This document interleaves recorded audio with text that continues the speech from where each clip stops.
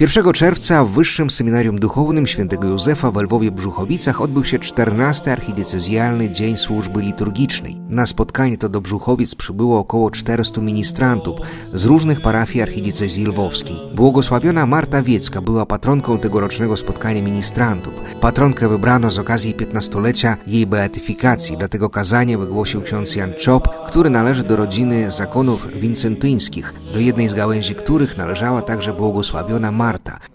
Na spotkanie ministrantów do Brzuchowic przybyli nie tylko chłopaki, ponieważ w niektórych parafiach przy ołtarzach służą też dziewczęta, więc to też ich dzień. Uczestnicy Dnia Ministranta jednogłośnie przyznali, że choć na takich spotkaniach najciekawsze są gry i zawody sportowe, to w tym roku największe wrażenie zrobiła na nich konferencja błogosławionej Marcie Wieckiej, bo o niej też mówi hasło Bohaterowie nie umierają. Po mszy świętej uczestnicy spotkania mieli gry sportowe, zabawy, odbył się też turniej piłki nożnej, mogli pograć w siatkówkę lub uprawiać inne sporty. Również klerycy Wyższego Seminarium Duchownego Świętego Józefa przygotowali dla młodzieży różne spotkania i konferencje tematyczne. A na zakończenie arcybiskup metropolita lwowski Mieczysław Mokrzycki wręczył nagrody zwycięzcom turnieju.